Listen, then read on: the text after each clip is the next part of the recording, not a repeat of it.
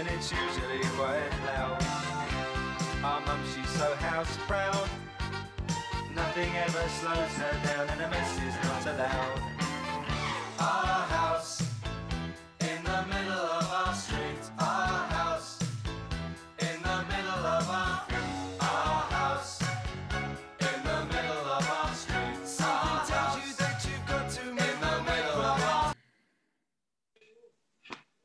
Are we off mute now? Are we going?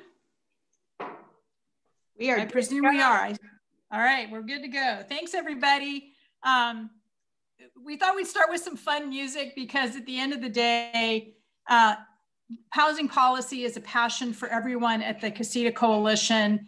For many of us, it's what we're doing in all of our volunteer hours as we work out of our careers in the private and public sector and into helping California uh, and California families make a real difference in their lives and in their communities. Um, I, I, want to thank everyone for joining us this morning. I, my name is Denise Pinkston. I'm the president and founder of the Casita Coalition.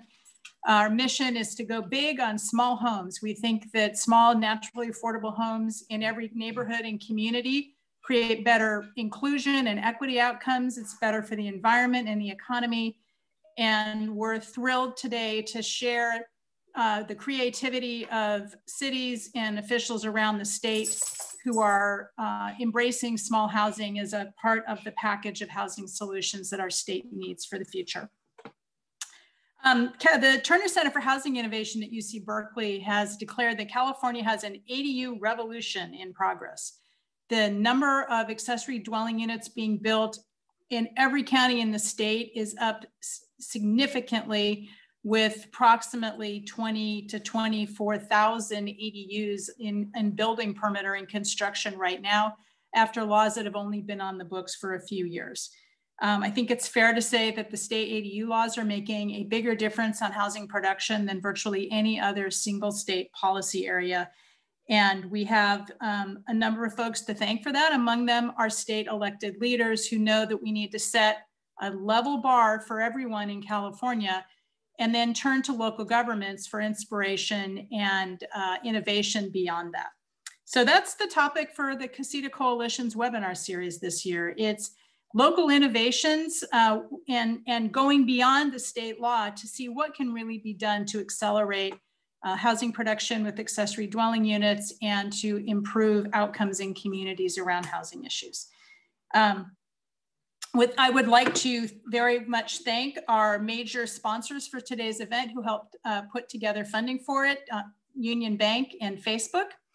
Um, also our sponsors for the webinar series who were major contributors, the Stowers Roger team at, at Loan Depot, Umpqua Bank, BIA Bay Area, and uh, my slide dropped off with my last sponsor before I could say the words. Tom, put that slide back up.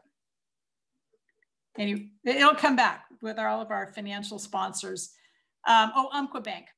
And then finally, all of our, and Bridge uh, Association of Realtors of the Bay Area. And then finally, our, we're trying something new, which is as a new policy area for the state, many organizations never really thought of accessory dwelling units as a major part of the state's housing solution.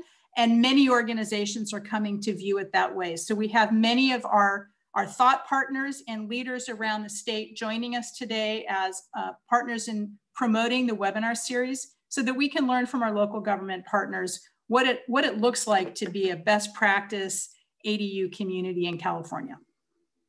And um, so finally, we really appreciate the partnership of the State Department of Housing and Community Development um, they're doing their best to issue clear guidance for state and local governments um, in an environment with lots of change statewide. So we appreciate their sharing information about the webinar.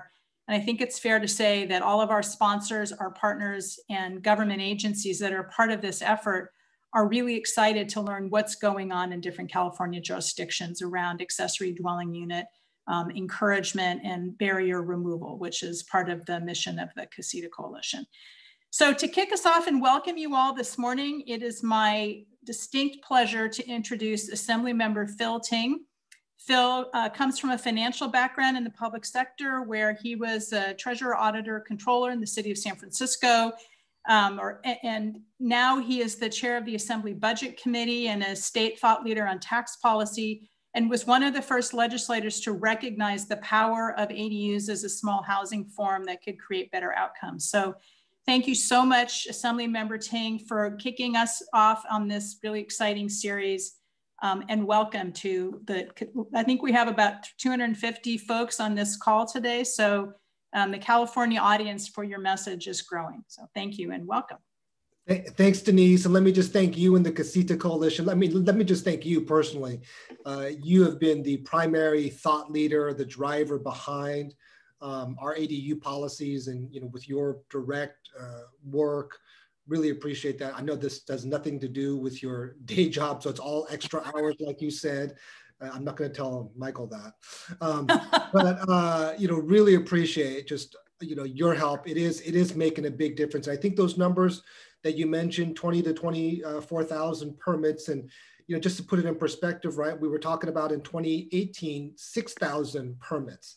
So to go from there, and I think the Terner Center is estimating that when we really get up to speed, we're going to be about 50,000, you know, ADUs a year, which is, you know, which is pretty remarkable. It's not, it's not going to get us out of our um, housing crisis, but it's a, it's a big chunk. And what, and what we're seeing, which is what's so exciting, is ADUs are being built in communities that have historically just really opposed housing. So it's not the adding density to traditionally already very dense areas. It's adding housing in areas that have traditionally been very anti-housing. So I think that's what's so so exciting. Obviously, ADUs uh, aren't anything new in San Francisco. We've been doing them sort of uh, very very quietly. Um, they're called in-laws, and they've been being done for for decades. And before, they were all um, sort of un, you know, undocumented, un, unentitled, and now they're kind of finally able to come out of the dark, which has been huge. It used to be a very big uh, political issue about 15, 20 years ago, especially in my side of the, the city and San Francisco on the west side of town. But this is something that's so exciting to me because uh, when we did uh, the legislation, uh, it was, you know, so many people were just so supportive. It was one of the only uh, types of housing construction that people would embrace. And I think that the key differentiation is to remind people these aren't um, you know companies going in and building 200 units in a neighborhood. You know these are neighbors adding a unit or two uh, in their backyard, in their garage. Uh, you know even after the, the the property gets built, these are still up and these are still your neighbors. And I think it's, it's making a huge change. I have one of my colleagues, she talks to me about every few weeks about the ADU she's building in her backyard. Um, it's so exciting hearing about all the companies that are involved. You have uh, construction companies that are now focused on ADUs. You have prefab companies that are uh, doing, you know, pre prefab ADUs. I think it's it's really exciting. Um, it's one of those uh, those notions that if you build it, they will come. That now that we've really laid the groundwork, and this is seen as something that's very predictable, something that's very easy to build, um, that you know people are just flocking to it. I think the last thing that I think you and I have talked about cracking is around financing. Uh, it's still not easy to build. While ADUs are relatively cheap, in terms of housing construction, it's only about $160,000 a year, it's $160,000 to build. Um, you know, unless you have that kind of money in your bank account, it's not so easy. So getting financing, really cracking that financing net. That's why we were really uh, proud to work with you last year on financing. Unfortunately, the governor um, the governor uh, didn't see it the same way, and we're running into a little bit of bureaucratic uh, snafus, bureaucratic turf wars, I call them in Sacramento. But we're going to get through it. We're going to power through, and we're going to really make it much easier uh, to build ADUs here in California. I think we've done the streamlining part. Now we got to make the financial part uh, so much better. And, again, just to set the proper context, what we're seeing is almost 90%, um, more than 90% of ADUs are actually built on single family uh, residentially, residentially zoned properties. And so what that does is you're actually uh, taking a neighborhood that is zoned for only single family and adding a unit here or there, which is making a huge difference because oftentimes these these communities were zoned that way because they're zoned exclusive to keep people out or to really uh, make it very, very difficult to move into those communities. So uh, I'm just so proud to be working with you, Denise, but also thank you for helping organize this Casita Coalition. It makes a big, big difference.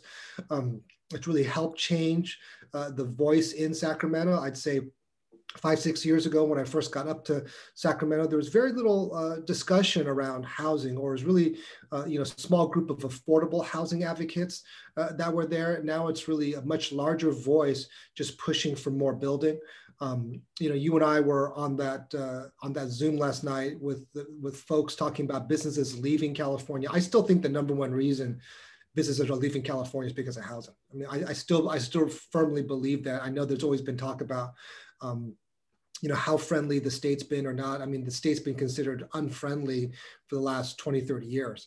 Uh, what's really changed in the last five is just how difficult it is to afford housing. And i'm so worried that we're losing a generation of californians between 20 to 40 who they look at it and they go i don't want to live with my parents for the rest of my life and i don't want to live in a one bedroom and you know have a family of four in a one bedroom. So uh, those are all very very difficult decisions and if we don't build housing, we are going to lose, um, you know, our, our thought leadership, our brain power to other states. And I'm so proud that this group is really, you know, being very thoughtful, being very helpful, um, and really, really um, steering that ship and steering our state down into very practical housing solutions. And I'm hoping that we can crack some of the other larger housing nuts uh, this year as well. But thank you. Thanks, Denise. Thank you to the Casita Coalition. Really uh, hope you have a great, uh, great discussion today and looking forward to it. Thank you so much, um, Assemblymember Ting. We are so grateful for all your work in Sacramento. And we look forward to really digging in on the issue of ADU finance. We're, we're actually going to publish in a month an ADU finance guidebook that lists all the current sources of money that are available. Um, and we're hoping to add to that additional juice from the state of California and perhaps the federal government now that we have a more housing friendly administration. So thank you for all your work. We're really grateful and uh, we appreciate the time and, the partnership between state and local government to make California um, a better place to live. Absolutely, and we got a lot, a lot more work to do. So excited about this year and um, just a reminder, the governor, before we went into COVID, talked about housing and homelessness as his only issue. And I know he continues to be very committed to it. So, so let's take advantage of it and, and make it a great year. Great. Thank, you, Thank so you so much. Take care. All righty. Well, that was fabulous. Thank you so much, Assembly Member Ting. Um, we're grateful for your work and we're excited to now shift from the state um, thinking about housing policy, which is at the state level, obviously, and shift over to where housing where housing rubber meets the road in local government. Um, it's local government public officials that do the planning and the zoning and the project approvals that approve and review the building permits. And that's where folks are really seeing how well the state laws are working and then innovating beyond them to do really interesting, novel work that uh, makes housing more affordable and more available throughout the state. So to kick us off, we'll start in the southern part of the state today with a spotlight on San Diego. Um, our speakers today are Gary Geiler with the City of San Diego, who's been involved in their accessory dwelling unit programs for years uh, before the state did state law. He was working on ADUs. And Jared Basler, an architect and uh, founder of Maxable Space, who is working to help counsel homeowners and working with cities to counsel them about how best to move forward homeowner by homeowner to get ADU build, ADUs designed, permitted, um, and approved and built. So with that highlight, I'd like to open it up, bring on Gary and Jared. Also, I think um, I'm being asked by my tech folks to make sure that questions are posted in the Q&A. There's a tab button on the screen for Q&A so that it's easier for the folks to track them and help us make sure we respond. Um, so Gary, I see your slides are up. Why don't you give us a brief intro to you and your work, and then um, we're excited to see your presentation. Thank you for having me and for spotlighting San Diego to, to start this series. Uh, very happy to be here and working with the Casita Coalition. My name is Gary Geiler. I'm the Assistant Director for the Development Services Department. I've been with the city for over 20 years, starting as a junior planner, working on uh, accessory dwelling units, granny flats, um, working my way up through the planning department here uh, and um, kind of coordinating our efforts here at the city of San Diego. the, the most important things I want to highlight are obviously what we've done for best practices are, are the regulations, fees, process, but probably the most important is our outreach that we have done and I've personally been involved in um, that has really helped to uh, move the needle on these. Um, I can, I went back and did the, the statistics on these. We were getting about one to two projects submitted in the 90s. There were, you know, discretionary requirements, design requirements. So I was keenly aware of prior to uh, the state adopting regulations in 2017, what needed to be done. Uh, and we've been working on that ever since. And we have a really good program with the planning department addressing these changes. So I'm going to go through those briefly, the regulations, the fees, uh, the process, and our outreach. And then I'll move over to uh, uh, to Jared to, to highlight some of our uh, latest uh, changes regarding the bonus ADU program, uh, which is we've already received a lot of interest and we're uh, anticipating some submittals for unlimited ADUs on certain lots in the city of San Diego. So we made it clear that within our um, municipal code, it's not just residential zones, it's all zones that allow for residential. So we opened it up to all the multifamily zones. We got restrictions on minimum densities. We opened it up to what we have our planned district ordinance zones. These are specific tailored zoning regulations for different neighborhoods. We have about 50 different community plan areas. And within those, we probably have 12 or 15 uh, PDOs that have separate tailored uh, regulations. So we wanted to make sure that uh, when we adopted state law, we were consistent and cleaned up all of our base zone regulations, residential, but also PDO zones. And more importantly, are a lot of commercial and mixed use zones that have allowances for residential. The city of San Diego, like other cities, perhaps um, had rezones over time. Uh, and we've noticed that some properties might have been downzoned, some properties might have been upzoned. So there was um, uh, an effort taken on behalf of, of myself and our department in order to implement this. We have to address those situations where maybe somebody's in a multifamily zone now um, but they only have a single family dwelling unit, or if they're, uh, you know, they're a, a, triplex now in a single family zone, they've been downzoned. How do we uh, address that? So we made it clear in our code where these are allowed, and we've opened it up to perhaps the entire city with the exception of industrial zones. Some of the regulations that we wanted to make clear uh, were that within those single dwelling unit zones, one ADU and one JADU uh, would be allowed. Uh, we would take into consideration those properties that were downzoned or upzoned. Uh, with the multiple dwelling unit zones, we made it clear that two detached ADUs would be allowed. We allowed for um, non-habitable and habitable areas to be included. We went with the unlimited option for non-habitable areas. So storage rooms, laundry rooms, garages, whether they're attached or detached to that multifamily dwelling unit structure, we are allowing ADU conversions. And we have seen those. In some cases, I've seen eight garages being converted, and that's huge. Uh, the bonus ADU program is something new. Uh, it's something that Jared has worked with us on, uh, and we're working in tandem with the Housing Commission. Uh, what this allows for is unlimited ADUs within a uh, transit priority area. So if you provide for one ADU, um, we will give you an additional one. We have gotten requests now um, for some six ADUs on a site bonus ADUs. Outside of TPA, this would be just one ADU. Um, so these would be following our local very low, low and moderate income household levels. And these can be for rent or for sale. Uh, for sale as long as it's per uh, the, the, state definition of what that nonprofit housing agency would be. Uh, but we have an interest with uh, with rental and for sale for these. We made it clear in our code what those thresholds are for very low, uh, low and moderate income, and we're seeing interest not only for typical housing, uh, affordable housing advocates, but from homeowners in general. They can do this, and we made it clear in our code that they can do that. And working with Jared and the Housing Commission, we're going to make it more uh, easy for them to understand the language uh, and the thresholds. And we can get more into that in, in, in a little bit. Uh, as far as the development regulations for where they're allowed, uh, we wanted to go above and beyond just within or attached. We want to uh, expand it to detached or existing or proposed structures.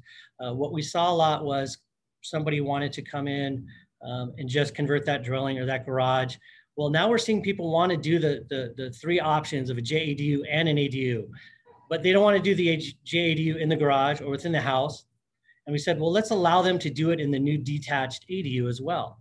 Um, and we have seen great interest in this. We've seen dozens of submittals that have allowed this, uh, and it's really opened it up. We went with the maximum 1,200 square foot for the ADUs, and that's for each ADU on a property. Uh, we made it clear that for those properties that are uh, approaching at or over uh, their existing FAR that we will allow an ADU. With the setbacks, we did not go with the, the four foot. We allowed full encroachments up to the property line. Uh, as long as there's no uh, openings uh, or doors, we're just complying with building code in that regards. Uh, we have a lot of properties that are narrow or there's existing development on properties uh, that those four foot setbacks just wouldn't work. So we went with the zero foot encroachment and that's not only for the first story or the second story as well, or sometimes three stories, uh, because we didn't limit the height to 16 feet as the state did for the multifamily properties. We went to the height limit of the zone, and most of these zones are 30 foot. So that allows for, uh, you know, the second story on a garage in, in most cases, uh, and, and allows for more flexible design uh, for flat roofs and pitch roofs, et cetera.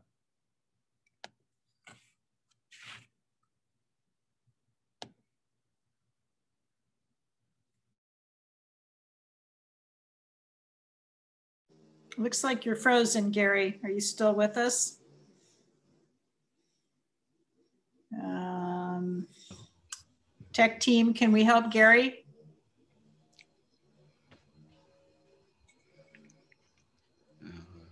Can someone send him an email? Um, Jared, I hate to do this Yeah. to you, but are you on? Can you keep going through Gary's slides until we get him back? Yeah, give me a, a hot second to pull up his uh, presentation and I can, uh, I can do that. Okay, great. It's always the tech, folks, but think we've got great questions coming in.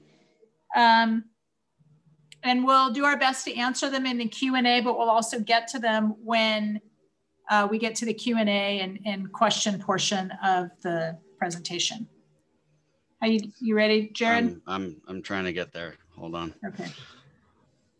Looks like Gary rejoined us, so he may be able to pull that back. I'm just going to go through some of the questions. Um, one of the questions was, are ADUs having a positive impact on the homeless crisis? How many homeless people are now housed in ADUs? I, I think the, the quick answer to most state data about most housing programs is that it is incomplete. Um, so we don't know who is moving into ADUs by statistics. We do know anecdotally that families will often create an ADU to house a family member who is vulnerable or at risk of being homeless. Someone who's at risk of losing or may have lost their job or lost their housing, doesn't have anywhere else to go, and the family will create an ADU to make sure that they have a roof over their heads until they get their feet under them. So anecdotally, we know that um, people who are at risk of homeless are finding housing and ADUs. Okay, I see that Jared is up and running again. Oh, looks like that's Gary. So Yes, I'm able to. Oh, Gary. Apologize for that. back. Uh, No we're working on our, our bandwidth here at the city. Um, so I left off on our, um, uh, just with the development regulations themselves.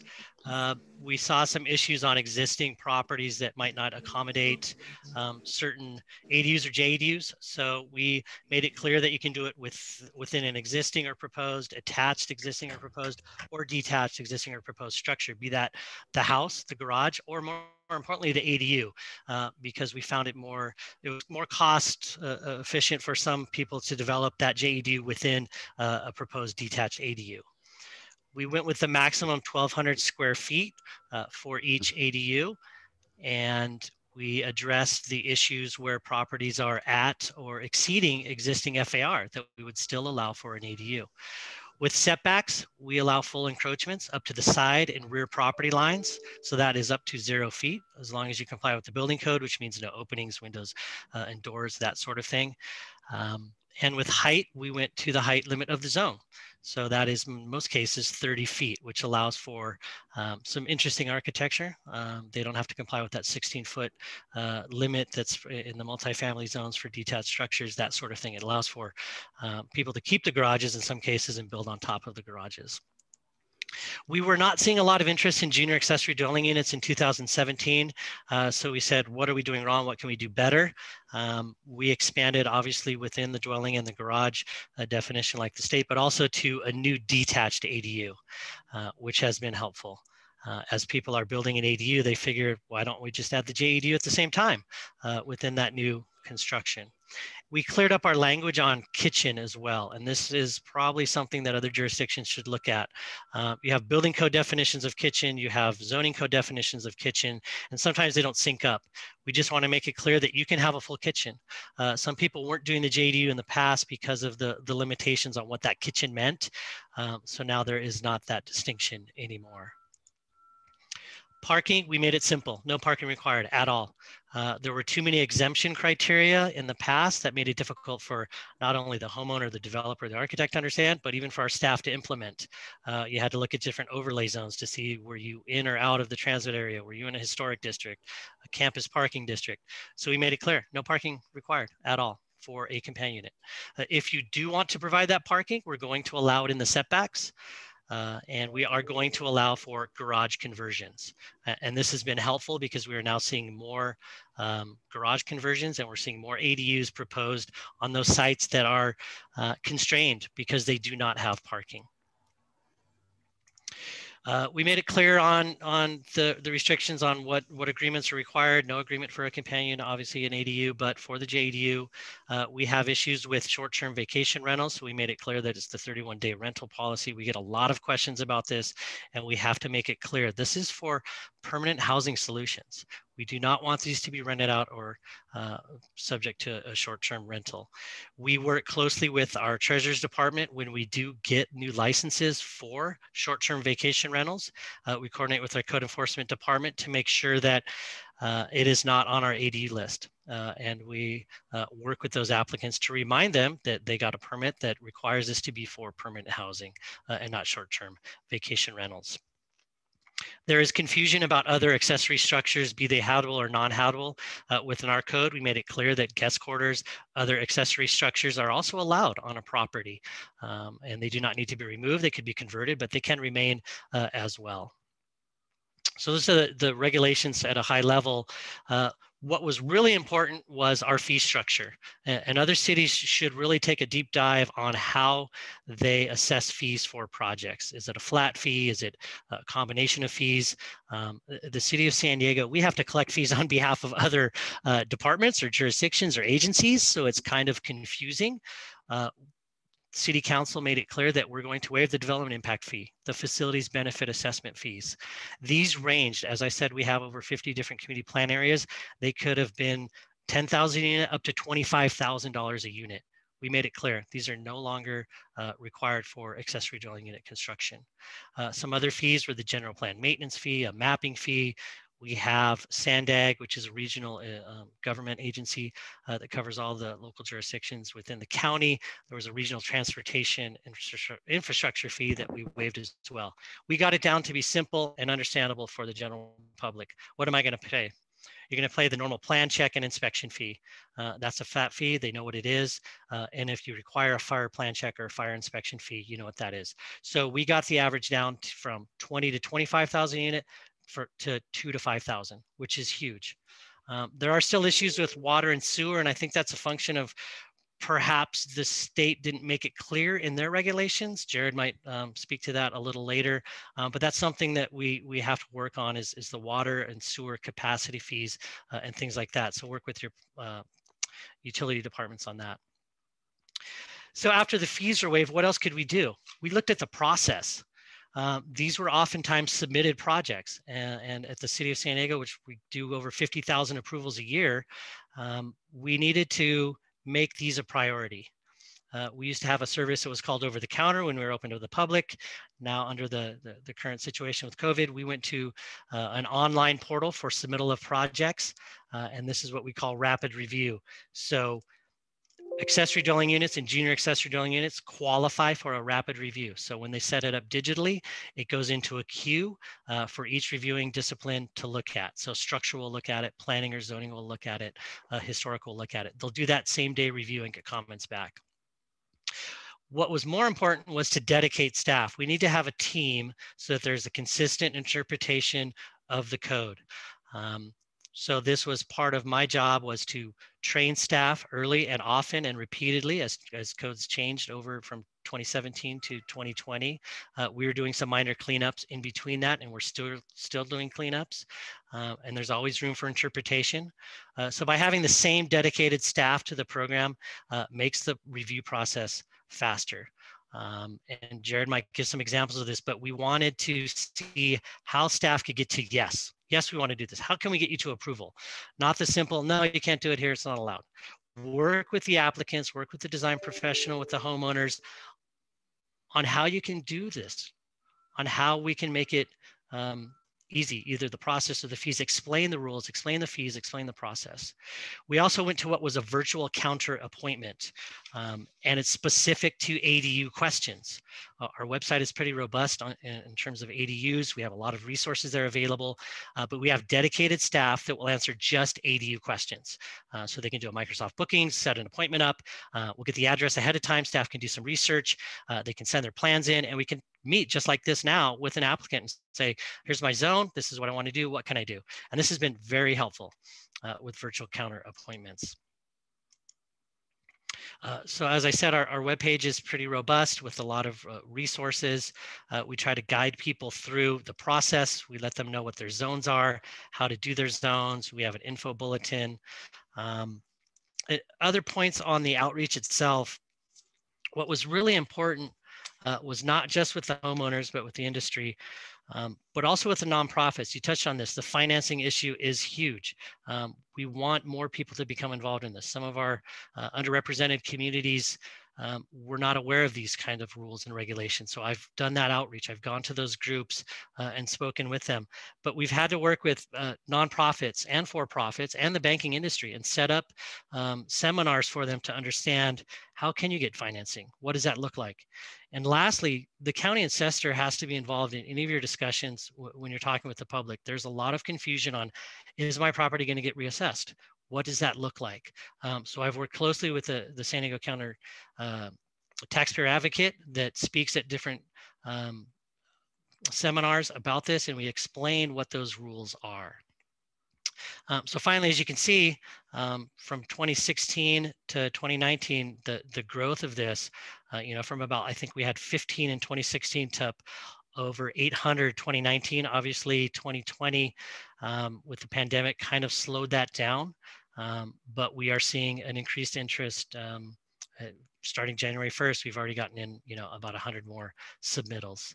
Um, so that's just high level. Um, what we found important was to, to clean up those regulations, uh, go above and beyond what the, the state required, attack the fees, create a simpler process and do outreach as much as you can and as often as you can. And now it's a daily outreach process by having a dedicated uh, staff team available to answer questions on ADUs. Uh, and with that, I'll turn it over to Jared.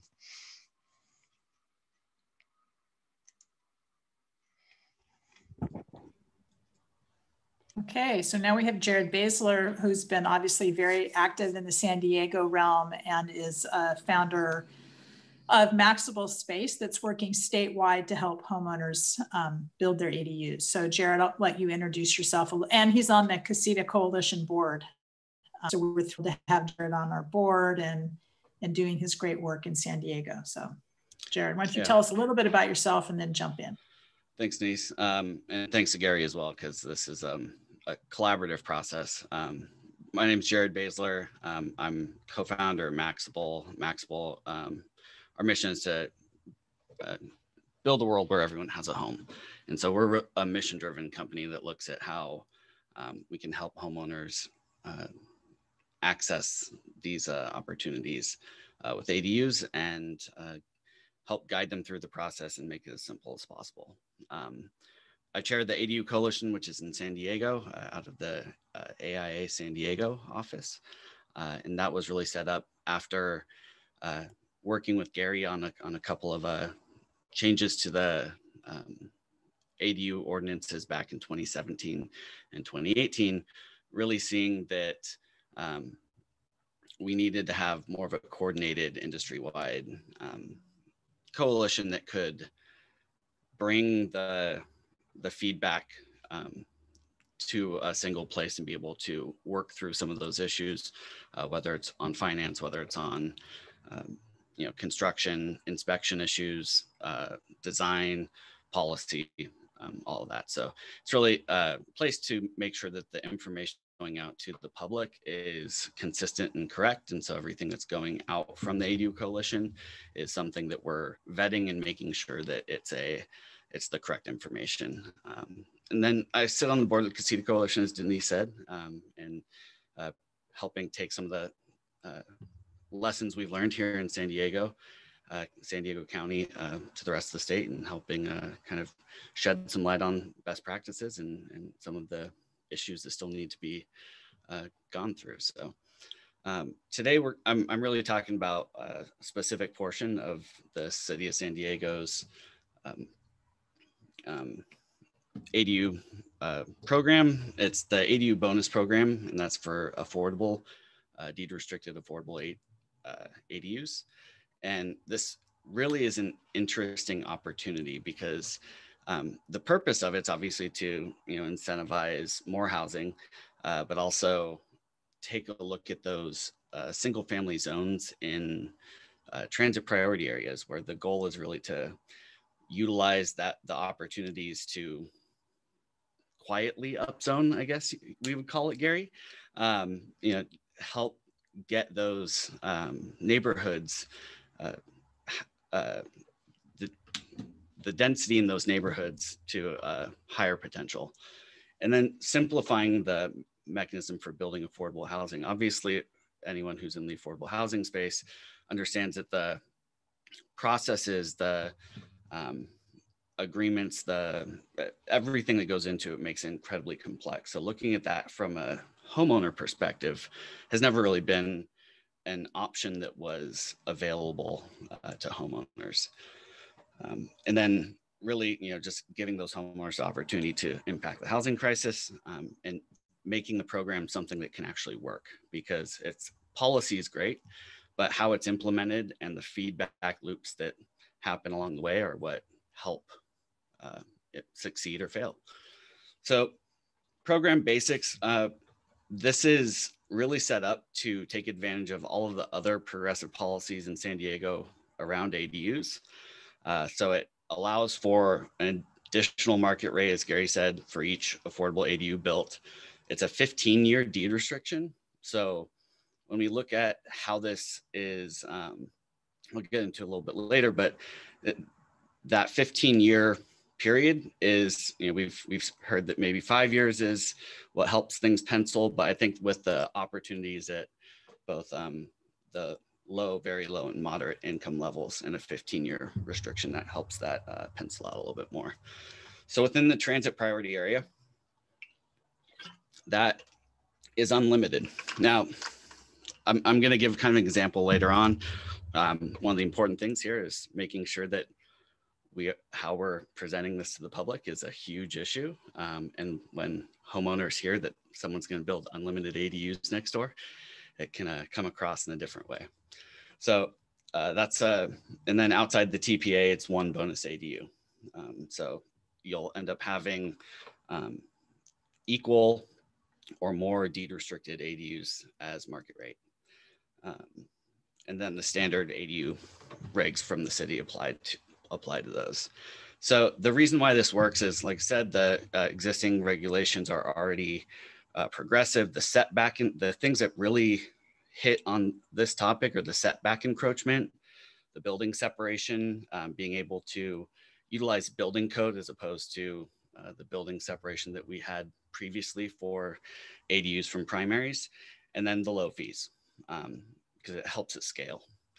Deed restriction length, uh, don't it not only pencils for developers, but doesn't burden the homeowner with a, um, a, a deed restriction that they don't really understand what that could do to the property value over time if they've got a 50 or 60 year deed restriction. We've seen some other communities looking at, you know, providing, you know, fee waivers for a 50 year deed restriction. I mean, that's the, in my mind, that's criminal because it's saddling that homeowner with a, um, you know, giving them $10,000 off, but, you know, permanently having some impact on that uh, value of that property.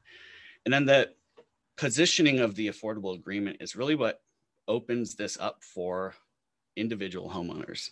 You know, um, affordable housing developers are kind of used to the financing mechanisms that they have to go through in order to um, get these to work and, and get get all of the paperwork in place. And so they typically use uh, specialized finance products in order to do that.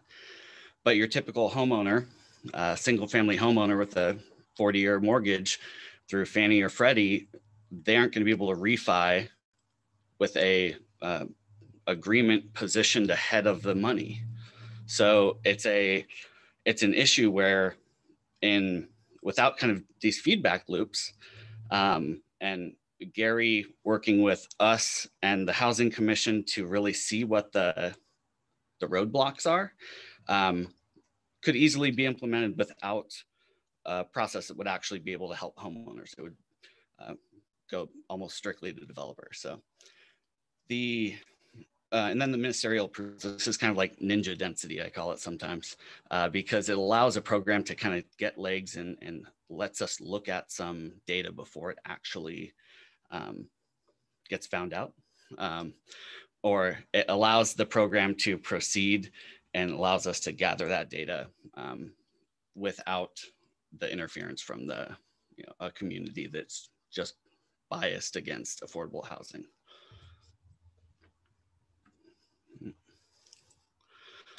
So as Gary's, uh, Gary's been working on this for in his team for a, while, um, but getting stakeholders involved early in the, in the um, development of the program was really key. And not only, you know, we, we typically have these kind of uh, committees and, and jurisdictions that have um, the same people sit on them year after year and they go through the code and they provide updates, you know, things that should be changed. But we really want to talk to the people that are actually doing these day in and day out. So, you know, the outreach needs to hit further than your typical policy development um, and not being afraid of talking to people on the other side of the table. Can't see, I can't tell you how many times we've seen programs developed behind the doors at the city only to have um, them present this great plan that won't actually work and doesn't work. Um, so it's that QA QC feedback loop, making sure that as it's going through the process, both in development and after uh, it's in place, that you have those uh, opportunities to evaluate. Um, and on the QC side, after this is you know got some legs because this is a very new program, you know we really want to look at the roadblocks that we're hitting and what types of projects they're most similar to. Um, I, have an idea of some of those that we're going to run into, but we want to make sure that we're um, addressing if it's something that's a uh, roadblocks for multiple project types that we're not just solving it for ADUs, but we're actually solving it for the the other project types as well. So now we're going to get into an actual project uh, that was submitted yesterday. Um, this is a single family uh, home in a historic neighborhood. Um, historically, upper class uh, still had the CC&Rs from the 20s that uh, did not promote uh, racial equity. Um, and so we have this opportunity here to um, add density, add housing in neighborhoods that have the, the transit nearby and really have that opportunity. So uh, this is a 6,000 square foot lot with an existing about 1,000 square foot um, home, a attached garage in the front. Um, under the local regulations that Gary said, you know, we get one ADU. I'm not going to get into the JADU as well because you know, we just looking here at this bonus program, but I get one ADU. So that's a garage conversion or attached or detached. I've got 1,200 square feet to work with, but uh, also important is I've got zero foot side and rear setbacks. So that, you know, that's your garage conversion, your attached, your detached. Um, now, this is what the public sees when you say that we've got unlimited ADUs allowed on site. They picture that you're going to drop on an apartment complex or you know 50 ADUs. And it, it's obviously a joke, but when when we talk to homeowners, when we do outreach, we want to make sure that we're actually um, setting them up for uh, setting everyone up for success and not um, inciting emotions that you know lead to further uh, further conflict. So, um, but we still do have those development standards. So we still have to comply with FAR. Um, you know, there's obviously the the rule in state law that talks about going, you know, still do an 800 square foot if you're at or above FAR. Uh, this kind of this already goes above that, so you know we're sticking to the program uh, has you stick to the FAR since you're getting more than one ADU anyways. Um, and so looking at the lot size, what we actually get there, uh, we basically have 3,500 square feet to work with. Uh, take away the garage and the, the home, we've got 21, uh, about 2,200 square feet left to develop. So we start with a, a garage conversion up front. It's going to be a, a studio. Um, all of the units that we're providing here are um, provided with uh, amenities. It's, it's not that we're trying to just pack as many units on as possible. We're actually trying to create livable space. And, you know, as someone who's going to own this for the foreseeable future, this isn't a, a flip. This is a someone that's that's holding this. And so we want to make sure that we've got those amenities. It's a, you know, asset to the community rather than being a, um, you know, something that's going to cause more friction. Um, so they've got washer dryers in, in the units. Um, every one of the ones we're providing here has um, amenities unique to itself, and we're not um, we're not divvying those up in ways so that the affordable units get less. They're spread evenly throughout. So uh, we've got first ADU. We've got another uh, ADU. This is a one uh, one bedroom, one bath. Uh, this uh, on this side of the property, we've got walk-in closets. Lower uh, floors are going to have um, private patios. We've got on the other side of the lot, we've got the same footprint, got um, a little bit nicer of a, a living and, and, kitchen space. Um, so it's more designed for, you know, different, um, different demographics and what different um, equity in regard to what we're providing. Um, throw another one on top of each of these, and that's how we get to five ADUs on the single family lot. Now, we talk about what makes this work. Go back to those zero foot set, uh, setbacks. We go back to the um, the low the low fees, as well as the building separation um, requirement. So what we end up getting here is we end up get taking a single family home. We go from one to six. Um, it's a will end up being three deed restricted. Uh, obviously, we have an odd number, so it'll end up being um, three deed restricted and two market rate. Um, submitted it, like I said, yesterday. Um, and uh, we'll be getting that permit in what, about three weeks, Gary? Is that, a, is that what we're looking at here? Yes. Good, good. Because the client's on the call, so I just want to verify that. So, uh, um, so wh- where is this program at right now? Um, it was just introduced back in uh, November some of what the program did impacted outside agencies. So impacted the Housing Commission, and uh, but not in a way where they are uh, giving where, where they're a reviewer in the sense of they have a say. Uh, they're simply implementing this for the city, and um, they're the ones that are implementing the agreement side because they're the ones that have the that program set up so there's been some talk that's had uh, some discussions that have had to go on back and forth in order to make sure we've got those agreements set up properly. Other things that Gary, um, Gary and I have been working on is making sure that the process doesn't get hung up because we're waiting for something to get recorded to title.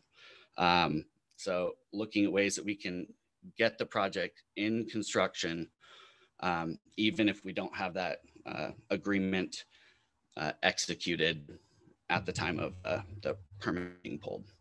So statistics obviously are still pending. Um, we do see a lot of opportunity in, in the cities and a lot of um, interest from uh, homeowners and uh, small developers. Um, as we go forward, some of the success metrics that we I, I really want to look at, and I think that you know these are things that you have to kind of tailor for the program that you're putting together is not just the affordable units that are being created, but are these going to be are these getting going through the sale program? Are they going through the lease program? Are you having um, what's the ownership type that's happening uh, long term? Um, you know, making sure that we're providing those opportunities for the single family homeowners and really looking at the um, how we're simplifying it for the homeowners while not um, leading them on that it's uh, simpler than it really is. Um, some of the challenges I, I see kind of need to be looked at and things that we just want to keep an eye on is that clear understanding that those program requirements, the dedicated team of the city really helps that. Um, but this is a, a, fairly complex program. So it's not something that um, once it gets to the you know agreement positioning and the financing, those are things that it's it's difficult for the city or even uh, the housing commission to be able to give good guidance to homeowners on because they haven't historically done the outreach to single family homeowners on affordable housing programs. Um, public perception messaging, we just have to do better as, as cities, as, as planners, um, to not let um, the PR departments and electeds sit into something that it's not, or twist into something that they want it to be rather than actually is. Um, financing issues are still, you know, coming in, into play. I think the, you know, kind of one of the things here uh, centers around are, um, is this a commercial loan? Is this a residential loan? How uh, are they looking at those ADUs as units? Um, and then, you know, some things to just be thinking about for the long term is how this is impacting aging infrastructure. Um, obviously, the city has, or the state has removed a lot of the mechanisms for charging those impact fees. So when we look at um, ADUs in general, but you know something like this, you know, how are we planning for the future so that we don't have aging infrastructure being the number one thing that is is going to kill a program like this? Um, and then coordination with other agencies, um, as Gary said, you know, working with water and sewer, but also working with uh, SDG&E and, and the utilities. Uh, this is something up and down the state that at the Casita Coalition we see as a as, as an issue is uh, consistency in those policies. Um, and yeah, so that that's the that's the program. I think we're going to get into some Q and A here. Um, I'll go ahead and great. Stop. Well, thank you so much, Jared and Gary. It's really exciting to hear how San Diego has taken this policy area farther, um, especially in creating, you know, deed restricted affordable housing than any jurisdiction in the state that I think we've seen yet. So I'm really curious to see how that works out. Um, now we have a group of folks who are ADU experts in each in their own way, and they're going to join me to um, ask questions of Gary and Jared and, and to curate a little bit some of the questions that we that came in through the Q&A. Um, so I'd like to introduce Heather Peters, who is the plan, she'll give us her proper title, but planning manager for ABAG, the Association of Bay Area Governments in the Bay Area, and Colin Parent, who is, um, I think, the CEO of Circulate San Diego. So um, Heather and Colin, why don't you introduce yourself briefly and, and your interest in this policy area, some of the work you're doing, and then we can um, have a chat with our with our panelists. Hi, everyone. I'm Heather Peters. I'm the very first principal regional housing planner at MTC and ABAG, the Northern California Council of Bay Area Governments for the nine Bay Area counties. Um, my background before this, uh, under Schwarzenegger, I was the Deputy Secretary for Housing and knew that we had laws on the books that would allow this, but hadn't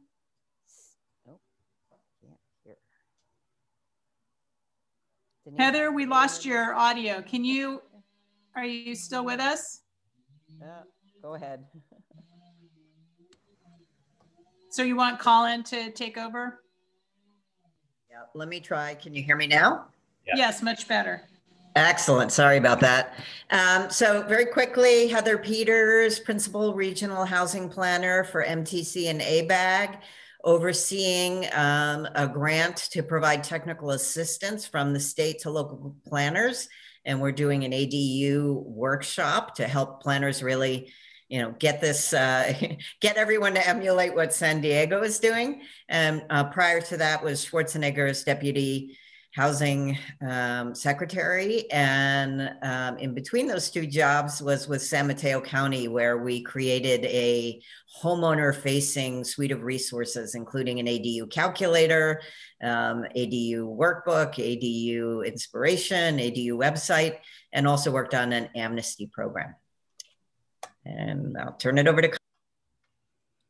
Great. Thanks, Heather. Uh, my name is Colin Parent. I'm the executive director and general counsel at Circulate San Diego. We're a nonprofit think tank uh, in the San Diego region. Uh, in addition to that, I serve on the city council in La Mesa, California.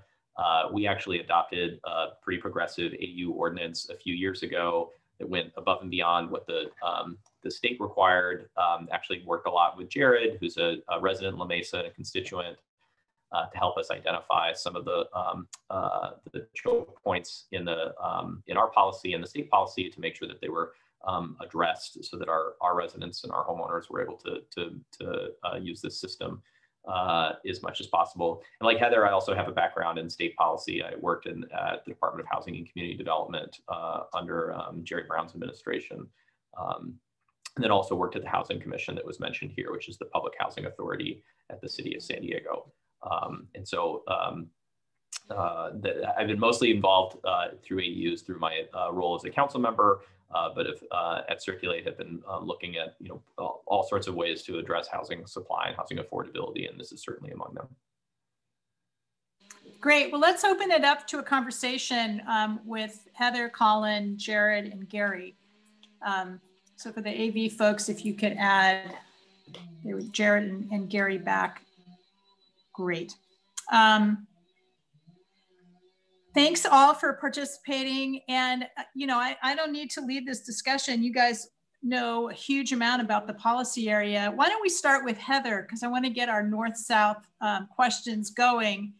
Uh, what, what are you curious about that might be helpful for your efforts at doing best practice training for Bay Area planning directors? Yeah, I, I would love to know from my southern southern neighbors uh, if there's a, a resource library uh, that can be made um, available through Casita Coalition, but also through the regional counties of governments, um, because there is so much grant money to work around um, ADUs. It would be great to be able to share the wealth. We'd like Wait, to see that through a Casita Coalition as well. That, that's a that's another uh, working group for Debbie, I guess. So we we have we, we have links to the San Diego program um, that we'll post on the website and make sure that folks have access to the zoning codes and the you know staff reports for the most recently adopted innovations around affordable housing. Um, so we're, we're happy to go ahead and put that on the website as a resource to folks. And one thing that I would say is that obviously all of the communities across the state are different.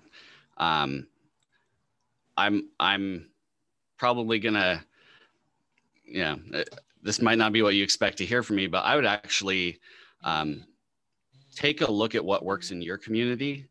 Uh, work work from the beginning through so that you know what you know where the policy needs to be, then what the process you know working through those issues. Um, but we really want to see the data on this as well. Like, you know, we, we want to make sure that this is something that's data driven and not something that's just, you know, the new fad of, you know, housing policy to emulate other uh, regions when it hasn't been, um, you know, when the analysis hasn't been done, whether it would work in, in your region as well. So, um, yeah. Great. Colin, what particular lessons do you think from San Diego's example we could tease out a little bit in the Q&A um, that you found were interesting, particularly given that you're comparing La Mesa with San Diego. So you've got a small city and a big city both struggling. I think that's a unique perspective. Yeah, well, that's kind of what I wanted to, to dig in a little bit. I mean, you had at the beginning of this uh, the panel, you had the assembly member saying, you know, we did these these these state rules, and so like everything's kind of fixed and like everything's good. And then you have Jared saying, hey, this is like this really highly advanced, you know, super innovative stuff that you can do. Um, my guess is that that there's a, a bit of a, a, few steps in between. That that in fact that jurisdictions, local jurisdictions, if all they're doing is implementing the very bare minimum of what the state requires, there's still a lot of barriers that um, that that that will uh, exist and make it hard for a lot of homeowners in a lot of circumstances to build uh, ADUs, uh, and that they're um, and that if, if and folks who are on the call who are like in planning departments or they're elected officials or, or, or advocates, you know, probably, and if, and you haven't fixed all this stuff in your, in your city already, like maybe that's, you do that first before you start talking about doing the, the really exciting things that, that Jared's talking about with the bonus. So I'm just kind of wanted to, to, to tease out from, from Gary and Jared, like, eh, eh, or, or anyone else, you know, what are the, what are the kind of barriers that uh, the sort of vanilla bar- barriers that exist um, that even though even with the, the basic even with these cool new state laws that um, that need to be addressed in local ordinances just to allow for the the ordinary type of uh, ADU construction. That's an excellent observation, Colin. Um, what we found was when there were several different ADU bills going through, they often conflicted uh, with each other. It was very confusing. Um, once the final one was passed, we reached out early to HCD to understand the language. And we explained we want to go above and beyond this. What do you think about it? We didn't want to just adopt there's boilerplate done, we're out of here. We saw some issues that needed to be addressed. Um, every every jurisdiction is different, obviously, but taking our unique, you know, circumstances with geography and, and zoning, we wanted to do different things. So they were receptive to working with us. It probably took longer than we wanted to, but we wanted to get it right. Um, so we went back and forth with them. We kept bringing up different issues. Uh, how would we address this? How would we address this? So it worked really well. And we even included Jared and, and, some others uh, as well saying, look, we're talking with HCD now. If we're going to implement this and we want it to be right and not run up to some roadblock that we didn't foresee, let's involve everybody right now and, and get involved and work with HCD to, to have that. And HCD loved it. Um, we probably pushed them too hard. And often we really wanted to work on, on coastal exemptions. That was something separate.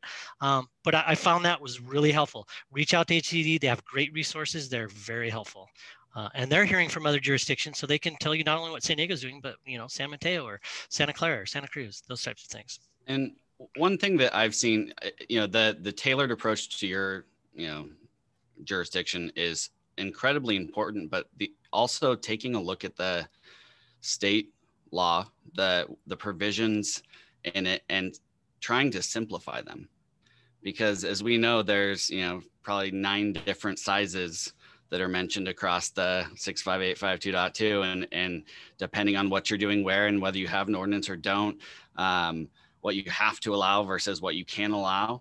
Um, come up with a solution that simplifies that for homeowners because if i have five different processes that i have to go through with with different types of units or five different categorizations of you know state you know mandated state approved adus versus locally approved through you know the ordinance those are the kinds of things that really um, create barriers and create that uh, confusion for homeowners and professionals and everyone else That's great. There have been a number of follow-up questions in the Q&A um, having to do some with the particularities of the San Diego program. Um, one question was, can you build an ADU in the front yard? Um, I don't know if you guys have a, had a chance to look at the Q&A, but there's a bunch of kind of weedy code questions that you might want to answer. They're really briefly. good. I've, I've tried to go in and respond. Um, uh, th- these are great. These are great questions. These are questions we get from from people on a daily basis. Um, the front yard one, we only allow encroachments into side and rear, um, but setbacks. we did, yeah, setbacks. setbacks. Yeah. So the front yard, interestingly enough, a lot of existing houses are previously conforming. They're in that front yard setback. So we said, what are we going to do? The garage is actually five feet further out than the main residence. They want to convert that garage. Can we let that happen? Yes, we're going to let that conversion uh, of existing space, even though it's encroaching into the front setback, because it's a conversion of existing area uh, to be redeveloped. Jared, you might have some examples of some of those projects. Yeah, I mean, we see those all the time, um, and it, it comes comes down to kind of what Gary said earlier. They're trying to get to yes um, and so that does create some, you know, tactically project by project, it can create some um, uncertainty um, or people going too, you know, crazy trying to get something through, knowing that Gary is always going to say yes to everything. Um, but the the reality is, it's it's not that it's a, a individual project trying to get to yes. It's a citywide, department wide policy um, or attitude of as we're developing policy, policies, processes, how do we get to that yes? So um, trying to remove those barriers at the front as well is, is incredibly important. Um, one question that came up through the Q&A that I think, you know, if you're a planner in a jurisdiction that may be ADU tolerant, but not ADU forward or ADU friendly, um, the politics of adopting the kind of program that you've adopted are challenging at best, perhaps impossible. Um, can you talk a little bit about how you put together a coalition of the willing to really expand capacity in single family neighborhoods? Because I think that that might offer some paths forward to other folks who are interested in this. And, and a related question is San Diego thinking of doing missing middle zoning for triplexes and quads and so forth um, now that you've kind of doubled down or tripled down on ADUs. And um, one, thing, Gary, uh, I think Colin would also have some some good insight here with how we uh, worked together back in, in, the early days of the ADU ordinance in La Mesa and how, you know, that looking at the political landscape and how it actually uh, um, plays into how we put these policies in. Remember those conversations? Sure. Yeah. So I think there's a couple a couple of pieces to this. I mean, I think broadly the the the poli- the, the way that you get ADU policy done is that you um, it's the, the, the good politics of it is you you tell homeowners this is actually going to give homeowners more choices and more more financial opportunities and it's like a it's a it's a pro homeowner thing, right? And so the, the people who might be most opposed are the, are the homeowners because they're afraid that the neighborhood's going to be different. But you also make the pitch to them, no, no, actually, this is the best. This is for homeowners, and and that's and that's very attractive. You can also bring in, you know, uh, you know, politically uh, influential groups like realtors and building industry to who get involved, and and then and then that and that that that that could be good. I think the um, the other piece, though, with, with regard to the more um, the more creative approach that you're seeing in San Diego, um, uh, with you know sort of more units. It's, it's, very similar to some stuff that we've done with the enhanced multifamily density bonus that Circulate was was a, a driver behind. Um, I, I, I wrote our initial policy for that that actually was just adopted as a statewide policy um, through AB 2345. Uh, and I think that the, the, the, the, the secret sauce to doing things like that, and it's not necessarily going to work everywhere. It's just like, but this is the best, the best, the best strategy you can do is you want to marry really three different um, policy issues. And I think San Diego's ADU ex, uh, example does this, and probably I'm going to, you know, I think I think our enhanced density bonus help help show the way. Is that you you pair? So first you have affordability, right? That's like an important factor, right? And having deed restricted uh, uh, units is a is a component of that, right? Um, you have uh, the economic development, right? Of just like having more homes and and uh, allowing homeowners to have to, to create more, earn more value, getting the, the, the building industry in, in, interested in it and, and, and involved. But then the third piece um, is about having it uh, tie into climate and climate change. And so if people aren't familiar with the term that was used earlier in the, the panel, uh, TPA or transit priority areas, the, the San Diego's unlimited um, bonus units are allowed in TPAs, transit priority areas, which are areas within a half mile of a high performing transit stop. And so what that what that what that means is that you're you know you're going to allow more people to live near near transit that'll that'll reduce their their driving, reduce their greenhouse gas emissions, et cetera. And so so what that does is it creates uh, you, you now you have like three really distinct groups of advocates and, and organizations and, and interests who, who are all and with a common a common goal of, of, of pushing a policy. And that's maybe that's not enough in all circumstances in every jurisdiction, but in a lot of jurisdictions it is. And if you do, and if you're a planner or an elected official or an advocate, um, you can you can ident- you know create a policy that touches all three of those areas and affirmatively reach out to the, the organizations and individuals who are going to want to support it on those bases. And I think that's a um, that that is really the secret of, of how we were able to get an enhanced bonus program in, in for multifamily, and so we were able to do that for for uh, density bonus. And I think uh, as people are, are thinking about doing other creative enhancements, uh, that's that's the model um, to reconstruct. What's also important is we have a very open process for code changes and code updates where stakeholders are involved. Um, so we allow for that input because the last thing we want is council to have 20 people complaining about why is there no parking why we kind of explain that through the code update process and all those things you mentioned colin it's exactly right so thank you um, i have another question about a different constituency the coastal commission and how how given that many of the communities in the san diego metro region are in the coastal zone how is that um, interface going between the city and the Coastal Commission on ADUs? Gary.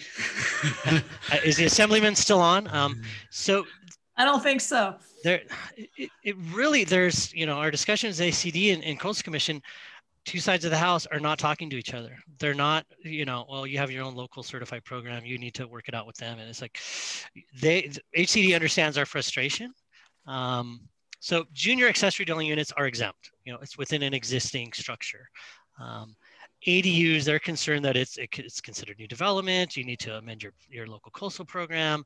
Uh, we're trying to work with some exemption criteria with them now, um, and we'll see if that works. If it if it's just to, I wanted to exempt everything. I mean, uh, it's accessory to a single family dwelling unit. There's really no impact uh, in these neighborhoods um, we might see if there's some middle ground. Maybe it's just conversion of existing space or uh, additions or attachments to existing structures. Um, we've had some good discussions with them, but I, I think I really I wish the the state would work a little closer together when when these regulations are adopted. Um, there was some language in there that's like, oh well, they'll only need a process one coastal development permit. It's like that doesn't exist. Coastal development permits are discretionary. You have to open them up to the public. And the issue with discretionary in City of San Diego is it, it's it's CEQA review, it's it's neighborhood community planning group review, and it goes to a hearing and it's appealable. That could be six, nine, 12 months. Uh, and the carrying cost of these some of the, some of this land is, is it's outrageous for some of these people. So they're doing guest quarters in the hopes of converting these later in a year or two when it's exempt. Um, but I'll pass it on to Jared for his, his yeah, or or what they really are doing, Gary, and you know as well as I do, is they're doing guest quarters and renting them out. Um, so it's it's creating situations where the the state policies um, are getting in the way of individual homeowners' liabilities and you know when it gets to the the messaging and and the information you know they're, they're building unpermitted units because they can build everything but that you know they can essentially get everything in there except for a um, garbage disposal. They can get like they can get a wet bar. They can get all that in there in a guest living quarters. And it's really easy to then go back after the uh, well I'll, I'll, stop there i won't i won't out, yeah. outline the process but it's important that like the the policies at the at statewide level are inhibiting housing units from being counted one and uh, giving homeowners the, the decision of do i spend all of this money and time now or do i just do it the the way that i shouldn't and this is of, of all the places within our city, this is where it should be going. This is where we need the affordable in our coastal zones. I did a map of, of where the ADs are going. They're everywhere except the coastal zone. I mean, those people that have money that can do it are doing it because they have the year and the twenty thousand dollars to go through the process and appeals. But that is exactly where sh- this housing should be should be at. And I, I hope coastal commission, our local jurisdiction, will understand that. So to, to that point, I just wanted to flag for folks, um, you know, I think, you know, if people aren't already aware, the Coastal Commission has a, a philosophy on land use and transportation transportation that is becoming, I think, increasingly outdated, right? So they, they oppose bike lanes, they oppose, you know, housing abundance and a bunch of these other things because they have a sense of, of, of access to the coast that's, you know, perhaps, you know, has some merit, but it's also becoming, you know, increasingly out of fashion